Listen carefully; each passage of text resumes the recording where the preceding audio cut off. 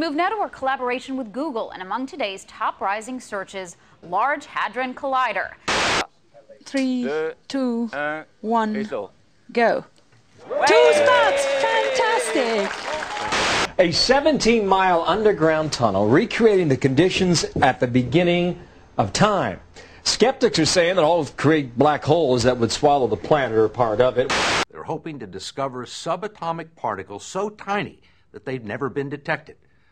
To collide two beams against each other to recreate a shower of particles that happened 13.7 billion years ago at the instant of creation itself. We are now going to recreate on a tiny scale the first chapter of Genesis. And, and, and, so I understand this. It will get stronger by the week. It'll get stronger by the month. It's at full strength a year from now? About a year from now, it'll be at full power. That. A group of fringe scientists believe the collider might even create a black hole that could swallow up the Earth. I know it's sort of the largest of these accelerators, and it you know crosses between Switzerland and France. And uh, I guess the bigger these things get, the faster they accelerate the particles. A little black hole would first circle inside the Earth and nothing would happen for a while, but eventually it would eat a little quark. And this quark would not be eaten like that, it would have to circle to get in, and thereby an electric field would arise which would increase the strength of the attraction of this little element by 38. But when you're playing with the building blocks of nature, and we've all played with building blocks, occasionally they all fall down. It's it's it's like uh, I heard Feynman once describe it it's is, is trying to understand matter. Like try, it's like trying to understand a watch by shooting it with bullets and see what comes flying out. It's almost the same kind of thing, you know. The, the higher speed the bullets, the more sort of fundamental things you can get out. And I mean, so how does it work?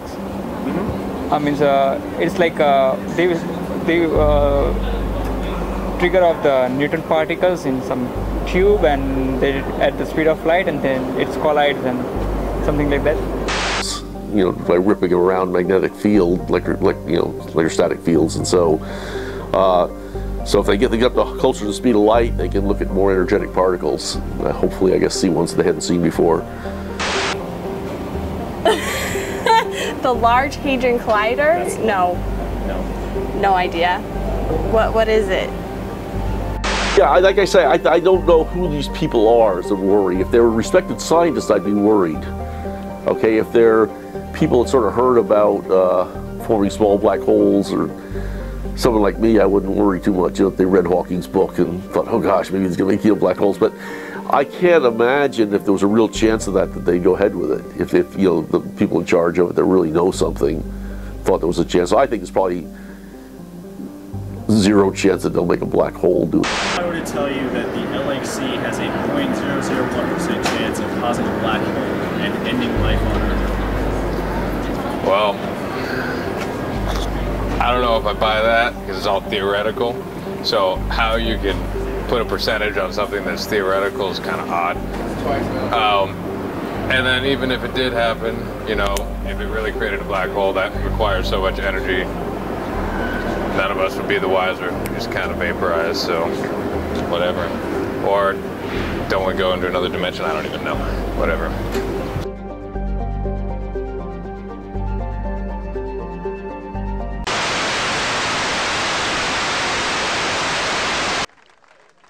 Bravo, bravo, is saying Luciano Maiani, Italian Director General of CERN. Scientists at CERN insist that all safety protocols have shown no reason for concern.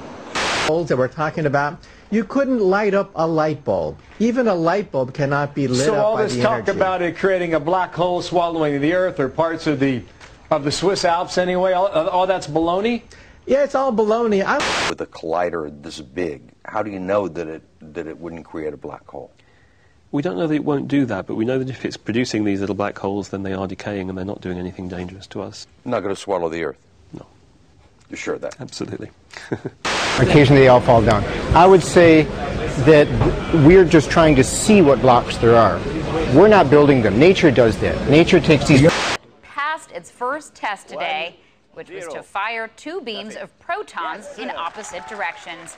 And yes, the good news, we're still alive to talk about it. Oh yeah. I'm about to drop some particle physics in the club.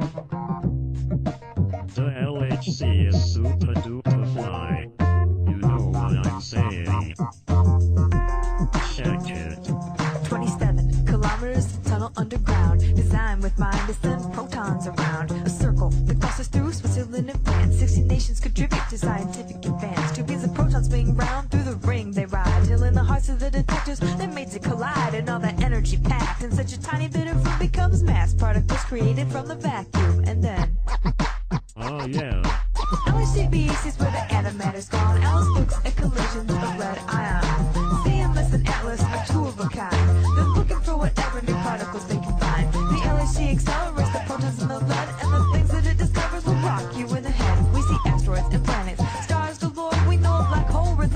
Each galaxy's core. But even all that matter cannot explain what holds all these stars together. Something else remains. The star matter interacts only through gravity. And until you catch a particle, there's no way to see. Take it back to conservation of energy, and the particles appear clear as can be. You see particles flying in jets they spray, but you notice there ain't nothing going the other way. You say my law has just been violated. That don't make sense. There's gotta be another particle to make this balance, and it might be dark matter. And for the first we catch a glimpse of what must fill most of the known verse because.